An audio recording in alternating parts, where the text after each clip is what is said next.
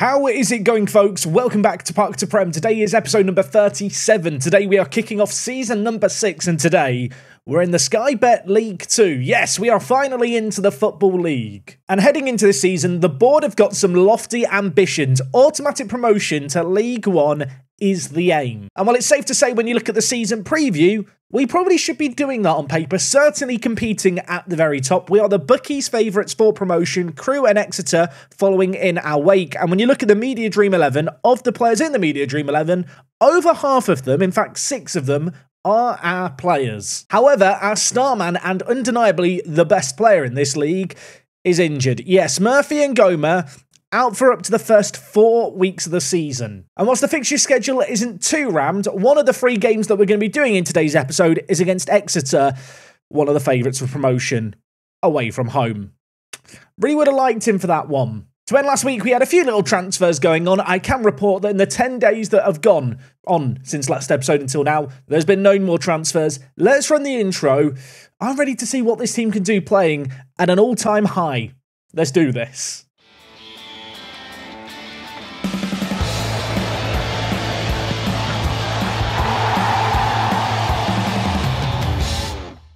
Today, by the way, is episode number 37. I think I mentioned that earlier, but in case it didn't, it is episode 37. I do want to start with just a little bit of a thank you. Uh, end of last week, of course, we did the two part transfer special where I kind of had to awkwardly split it in the middle.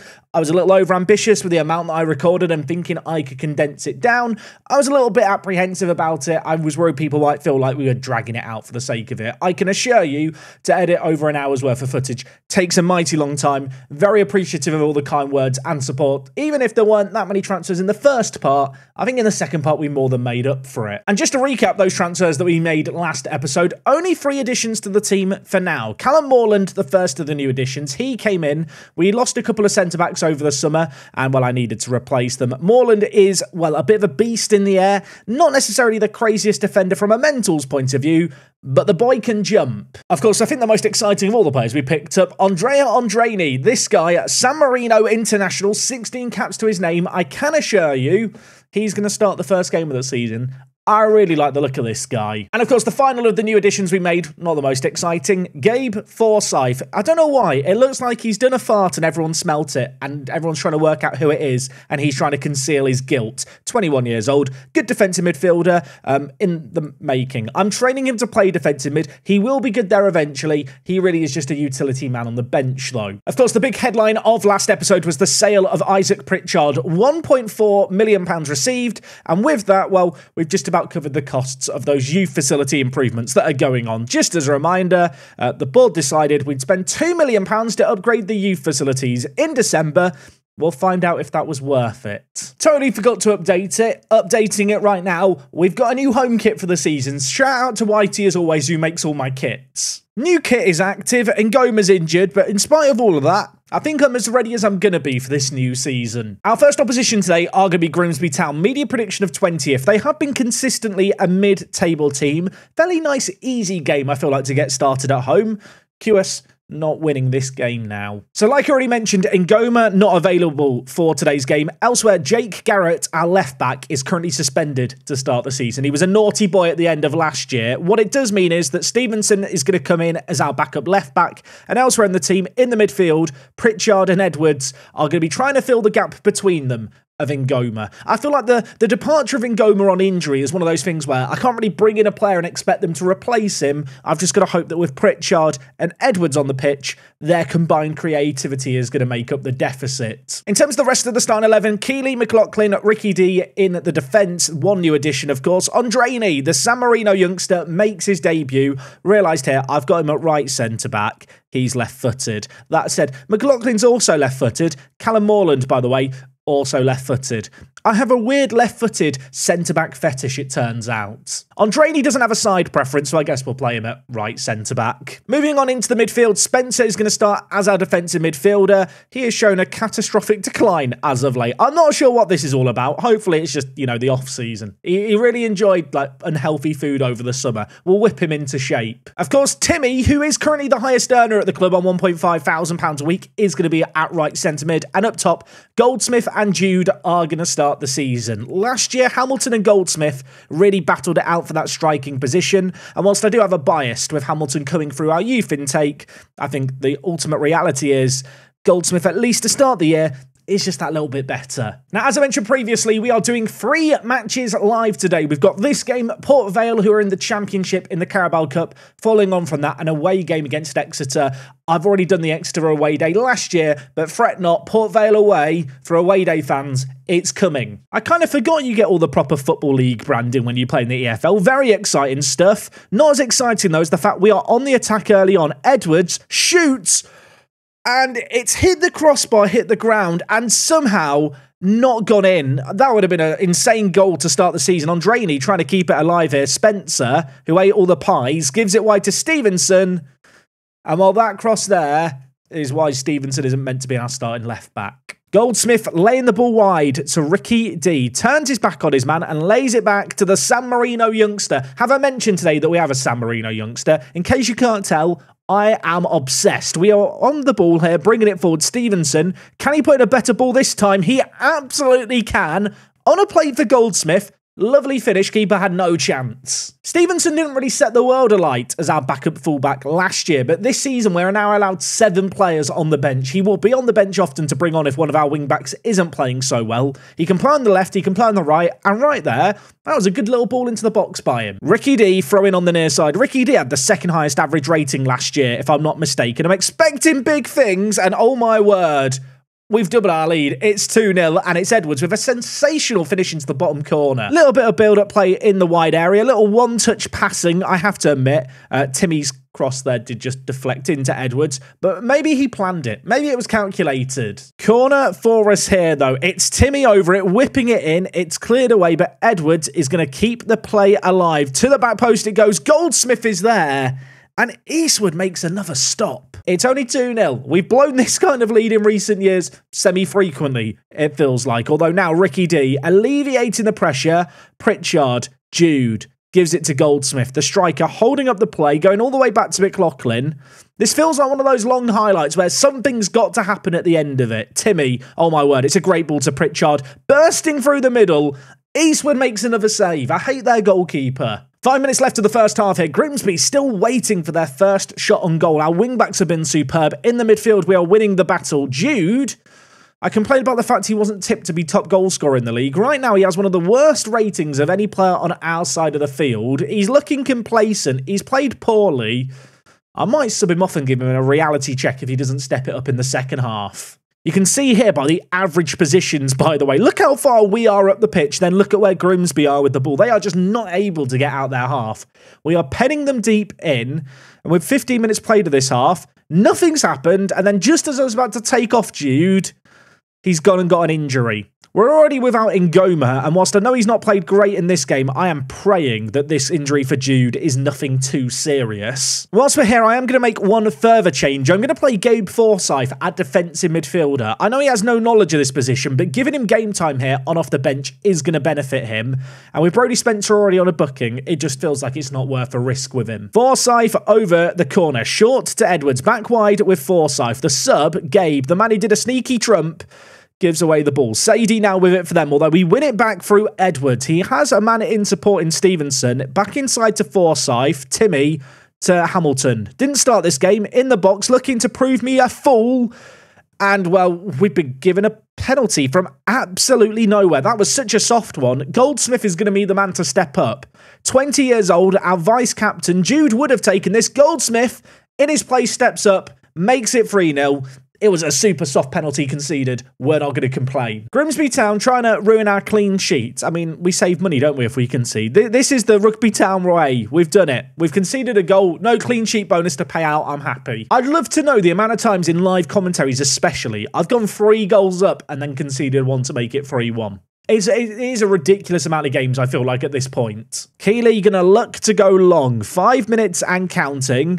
Pritchard wins the second ball, lays it off to Goldsmith. He is now going to bring it forward into the wide area. He's got his backup having just got one goal from the penalty spot. And now he's going to put it on a plate for Hamilton on off the bench. First goal of the season for him as well. We have deserved the win in this game. Six minutes of added time makes me think that the Jude injury could be bad. And now Gabe's got injured. Well, Shipston, on you come to play defensive mid for two minutes. I'm sat here thinking, surely this is the end of the half. I mean, we're playing over two minutes over the added time. It makes me think the Forsyth injury must have been serious and it took him a while to get off the pitch. We could make it five here, but even if we do make it five, which we're not going to, I'm just still going to think about the injuries. It's full time here. We've won 4 1, but at what cost? The answer to that question is Jude's out for two to three weeks and Forsyth's out for two weeks. I mean, it's not disastrous, but given the fact we're about to play a team in the championship, the fact we're missing some of our best players is a bit annoying. Ultimately, our aim for the Carabao Cup, I suppose, is to be competitive. We take on Port Vale in three days' time. Can't really expect to beat the newly promoted championship team, but we'll try and give it a little bit of a go. In some ways, this competition might end up being a distraction if we do go on a run in it. That next game is three days away. We have got some wage budget and transfer budget, so I might still do some wheeling and dealing in the next month of the transfer window. It's actually quite an early start, it feels like, for the league this year. And actually, speaking of transfers, Chimura, um, released by Ross County. Yeah, we've seen this movie before. I was keeping an eye on Ross County youngsters. They've released this right back. No idea if he's any good, but I've offered him a deal. And now elsewhere for the American football fans out there, uh, I'm trying to sign Jesse Marsch as my assistant manager. Apparently, he's waiting on a work permit, so he's already agreed to join us. It would be a rather mad addition to the backroom staff, wouldn't it? So it has been a hot minute since the last away day, but we're back again now ahead of game number two to take on Port Vale. And if you're not familiar with Port Vale, logically you'd think Port Vale. They must play by the sea. Wrong. In fact, Port Vale are one of the few football teams in the world of football not named after a town or place. Well, they are named after a place. I think they're named after like the house where the first ever meeting for the football team was held like over 150 years ago. Either way, Port Vale, north of Stoke. Now you know. First things first, from above, solid car park. We're in the big leagues now. You know, League Two, you expect to see proper car parks. Of course, this is a championship team, I suppose. Football stadium itself, I mean, doesn't quite look fit for purpose at the moment. I mean, what was what was going on when this was all set up? Who is doing a red carpet walk at Port Vale? Elsewhere, you got lovely parks to the south of the stadium with ping pong tables. Everyone loves some ping pong. And to the north, training pitches and just lots of lovely green grass. We love to see it. Now, the stadium is surrounded by roads, and I'm hoping, given the fact they are a football league team, there's options. Ladies and gentlemen, this is what we do away days for. Look at those dots. I will say from the aerial view, it looked like a really big stadium. It looks a lot more humble from here. Here's the car park. Here's the back of one of the stands. Port Vale, home to the Valiants. And if we go down here, the Google Street View van went into the car park. They knew I was going to come down this route. I will say, this whole stadium feels like it's on a massive hill. I hope the pitch is level. Here is the main stand. It still feels quite humble. I mean, it doesn't even really look like a football stadium at a glance, does it? But look, you know what? Exterior views are one thing. I want to see the interior. And there are dots here, there, and everywhere at Port Vale. This is actually quite a cute little stadium. I don't know if I like the fact there's such a big gap between the pitch and the stands. It's not even a gap for a running track. It's like they've chosen to make their pitch smaller for some reason. Maybe it had some other purpose. Maybe it's like a greyhound track or something. Just making up lore for the Port Vale Stadium. Oh god, it's been a while. We're on a point and click adventure. For new for newer viewers to Park to Prem, they're not familiar with this. I'm about to get lost in a football stadium, aren't I? Oh, you can have a wedding at Port Vale. He wants to get on the dance floor with me? Can we can we go on the dance floor? The Street View guy never. Oh, he did. He went on the dance floor. He knows how to boogie. Just got to check. Uh, what what have they got on tap? Guinness, Carling, Strongbow, Thatcher's, Carling. It's not an inspired selection, is it? Here is a view from the executive boxes in the main stand. This is a very cute and nice stadium. I like it. Great seat art. You know, they've just written out the full name, but uh, sometimes that's what you need to do with your seat art. I will say, not sure about the carpet in in the executive area. It's giving off kind of old church vibes. I've got a triple header today. I shouldn't be dragging out the away day. I just want to know where all the different things go. Oh, here we have a timeline of Port Vale Football Club. Where can we go? Is it just me or does this look like the actual meeting rooms? You know, in Football Manager, the backgrounds when you're having chats with your players and stuff. This is the background they used. And here is a view from the hallowed turf of Port Vale Stadium. It's a unique stadium. It feels like a proper old school English ground. I love this stadium in the corner. Like it's not it's not curved round, is it like modern grounds? No, we put it at a 45 degree angle and it works. I feel like I've gone back to the 90s, and that's a good thing. Vale Park, great car parking, lovely view around. They had a timeline of the club that I could only find the bit between the 50s and 70s. So presumably nothing's happened in the last 50 years at Port Vale. Stadium itself was absolutely amazing. Lovely surroundings. Shame about the drink selection behind the bar at the wedding venue.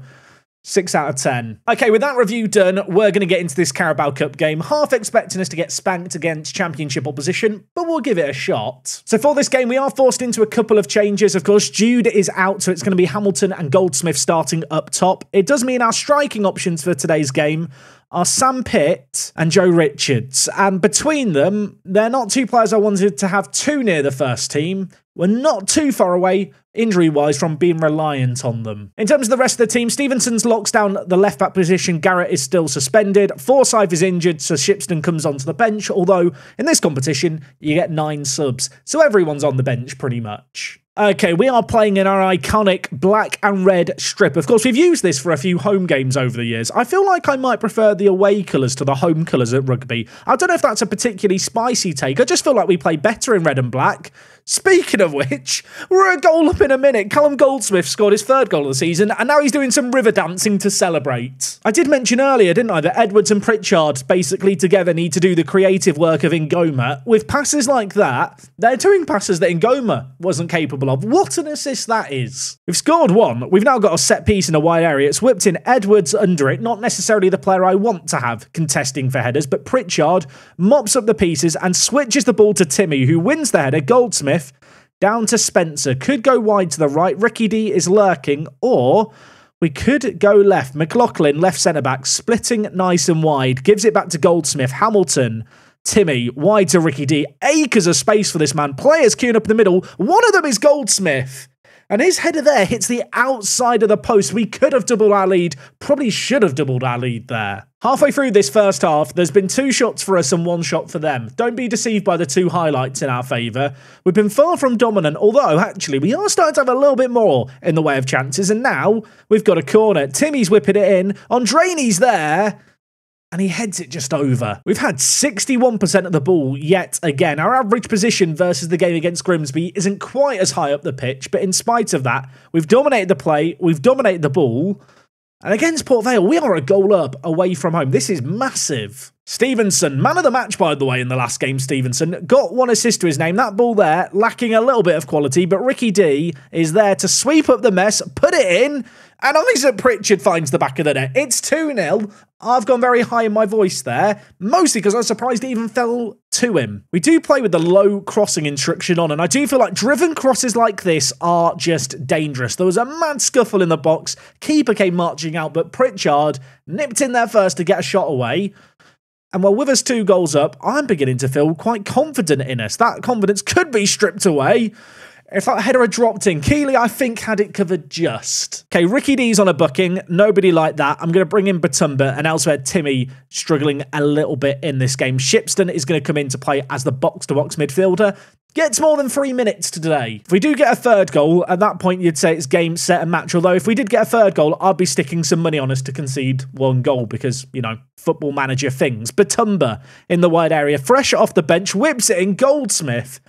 I feel like he headed one wide last game. He probably should have headed that one on target there. There's 20 minutes left in this game. You might have thought Port Vale would be the team on the attack, but to be honest, that's not really been how this half has played out. They've had three shots on target. They've created a little bit, but with no meaningful breakthrough, you feel like a third goal now would be the decider if we could get it. That said, we've given the ball away in a compromising area, and now Benarous is going to switch the play Keeley collects it, and this it feels like one of those long football manager highlights, doesn't it? Keeley cosplaying as a banana in goal for us, throws it wide to Batumba.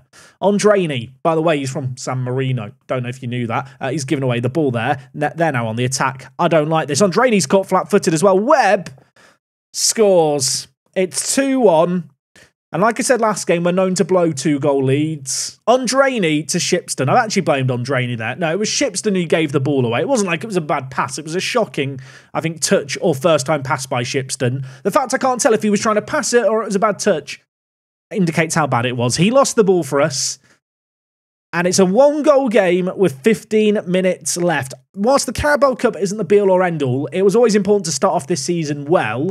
even if we were to get knocked out in this game in extra time, I'd still be pretty happy with this performance on the whole. However, in this position here, I'm now just hoping we can see things out. I've got one last sub if I want to make it. I'm going to bring in Morland for his debut at left back just to kill a little bit of time. A big meaty man from set pieces in case they throw people forward. And in the end, they didn't do anything. Also, I have just noticed here I could have made more subs. I only made three, they made four. I guess you get five subs in the Carabao Cup. I'll remember that for next time. I don't want to take the shine off things, but based on the number of players for Port Vale that have played two games, um, it is safe to say they did play a very rotated team for that last game. So a great result against them, but considering they're the favourites for relegation from the Championship and they were playing the B team, let's not get too carried away. Although I suppose on the flip side, we are without Jude and Ngoma, debatably our best two players, whom aren't going to be fit for the next game. We've got another game in three days' time. I thought the fixtures were more spread out at this level. It's not starting like that. Next game up is Exeter. They started their season with a defeat against Walsall away from home. With a media prediction of third, they're going to be expecting to bounce back at home. This next one's not going to be easy. It's a sad day for all involved in Rugby Town Football Club, but Liam Francis, our current assistant manager, he's not really good enough, is he, anymore? Been at the club for a very long time, this guy has been my assistant manager for many a year. But now it's time to say goodbye because Jesse Marsch is coming in. Yeah, uh, I feel like this is the biggest signing we've ever made. And if you were wondering about Marsch's career, of course, he was at Leeds United, then in this universe, he went to Fleetwood, was sacked by Birmingham City. Two years later, he's decided he wants to be our uh, our assistant manager. Make of that what you will. Anyway, I think for us, he's going to be pretty blooming useful. Even if he is on £2,000 a week, he's on three times as much as I am. In fact, no, I tell a lie. For some reason, I thought I was on £700 a week. I'm on £200 a week. Right, I say I'm asking for a new contract. Anyway, while that's all going on, we have got a slightly more pressing matter. Exeter in the league. After one league game, we sit top of the table on goal difference. Of course, we were expected to beat Grimsby. Don't know if we're expected to win this one necessarily. Exeter, media prediction of third. They have a strong team. Diabate here is their key man. He is absolutely mad, isn't he? He's very, very good. He's on £4,200 a week.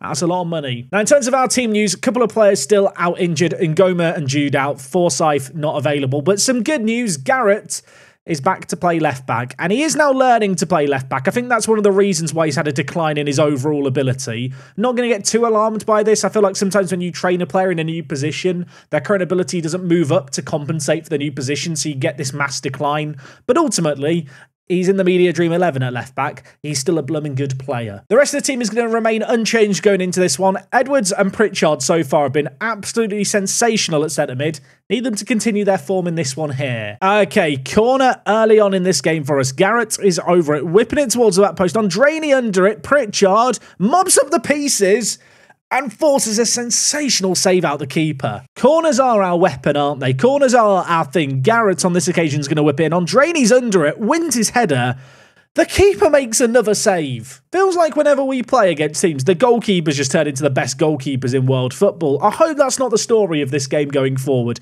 Their goalkeeper's on a 7.3 rating after 7 minutes. Okay, well, familiar story. We have another corner. It's whipped in. It's headed, I was going to say goalwards, but it's not headed goalwards at all. They've actually dealt with the danger relatively well on this occasion, Exeter. But plenty of players committed to the attack for us.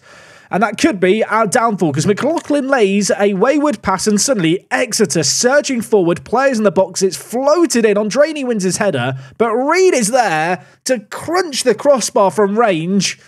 And Keeley holds on to it. Okay, this is is all action to start. I did think with that Keeley save, the chance was gone. Maybe not. Goldsmith is now coming up the other way. He's going to shoot. He's going to score.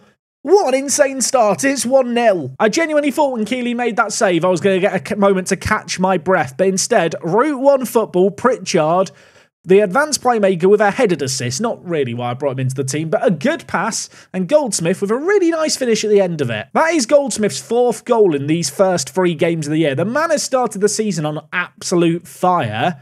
I mean, maybe we don't need Jude. We've already had one chance kind of begin with Keeley launching the ball forward. Is he going to launch it forward on this occasion? You bet your bottom dollar he is. Goldsmith can't win the header, but Edwards is there to win the second ball. And now Pritchard, who assisted the first, had a chance to get us a second. On that occasion, shot off target. Exits Exeter playing with a whole load of players behind the ball. You can see here, super defensive shape. They are very, very narrow and compact in terms of their average positions. And with that in mind, and given how narrow we like to play, Going to change things up here. Going to tell the players to focus the play down the wings. Let's try and get Garrett and Ricky D into this game. Let's try and use the full width of the pitch, just spread out the play a little.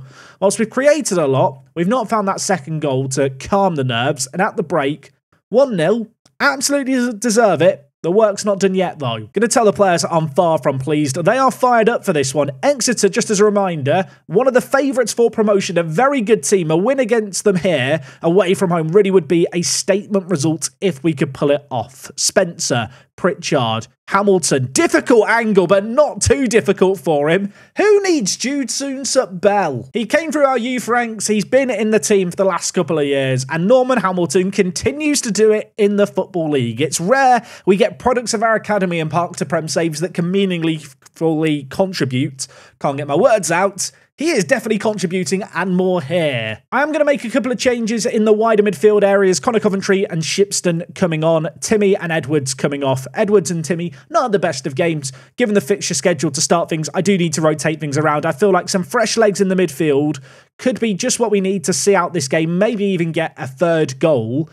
So we're going to look to bring the ball forward here. Are we going to score before the subs even happen? Hamilton back to Ricky D. Timmy now, edge of the box. Ricky D. Timmy. Lovely build up play. He goes for a shot, and that will be his final effort of the game. He's coming off after that. Don't know why he tried to shoot from there, really. Exeter have to change something in this game. They had such a defensive shape, and while we've managed to break it down, they've done so little going forward, and we could be about to break it down again. Goldsmith in a wide area, back to Shipston puts it to the back post. Ricky D is there. Great touch. Spencer. Coventry shoots. Hits the crossbar with a curvaceous effort. And, well, the pressure is, is relentless right now. Exeter are going having nightmares of sky blue players running at them. And now a penalty's been given. Lane, I think, gave it away. He's already on a yellow card. Is he going to get sent off here? The commentator said he was wasting time. Has he just been sent off for time wasting? I think that's what's just happened. Shipston, fresh off the bench, a good penalty taker, steps up. Can he finish it? He's tried to Panenka it and kicked it straight at their goalkeeper.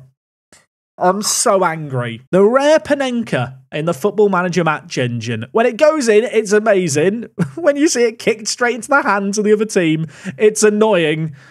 And then Hamilton does that. I'm fuming. I mean, at this point, Exeter are down a man. They're playing one player up front. We are going to win this game. It's not a case of will we win it, but rather, I think at this point, by how many? Shipston, who missed that penalty, half tempted to sub off. We'll keep him on the pitch for now, try and give him a chance to redeem himself.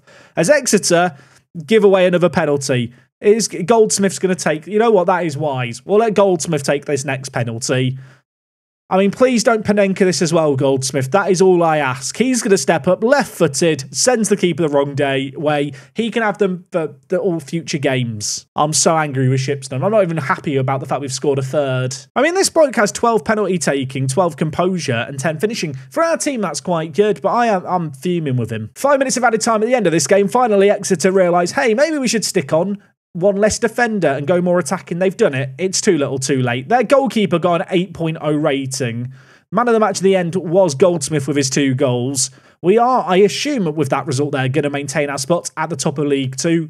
It's a very good start to the season. You can see here I've got a whole load of scout reports coming in for various players. There's loads of Spanish players that popped up on my scouts' radars. Daniel Martinet, I mean, he doesn't look bad, does he? He looks like a little libero, but I, don't I don't really need him. He's not I don't need a centre back who can't run and has no physicals. Lossa here doesn't look too bad either. I've been looking at the Spanish youth leagues off the back of finding all those Spanish players that turned me down over the summer. I feel like Spain could be a good spot to make the most of our second ESC signing. Not entirely sure when we're going to be back just yet. Of course, League 2 has three automatic promotion spots. We're still in the Carabao Cup. I've also got the Papa John's Trophy to play. I don't like this competition. But yeah, we're in it. I have to play in it, sadly. We'll be back tomorrow for some more Park to Prem action. A month left of the transfer window. Plenty of money to spend if you want to do it. If I was going to add a player to my team, what position do you think I should be letting a player be added in?